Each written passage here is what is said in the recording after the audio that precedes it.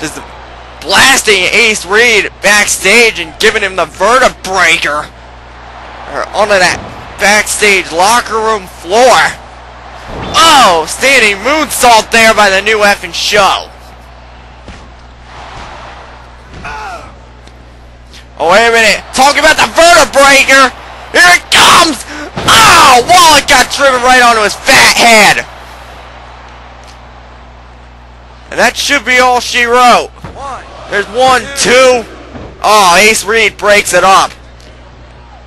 MT Wallet just got the shoulder up due to Ace Reed. German suplex there by Wallet.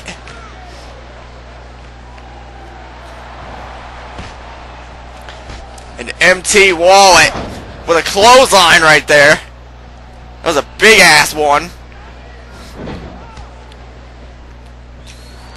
McConnell now the legal man.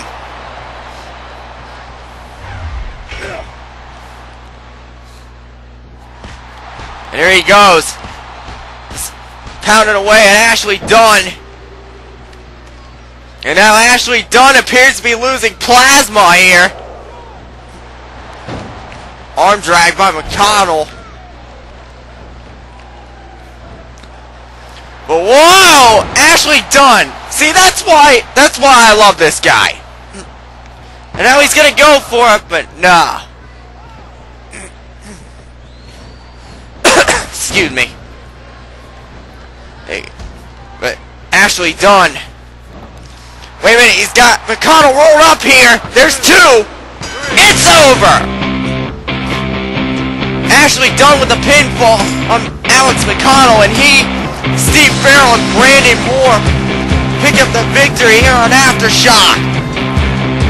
Well, that's gonna do it for this episode, fans. As always, thanks for tuning in. I'll see you guys on Overdrive. Make sure to watch EVA. Remember, after next week, it's just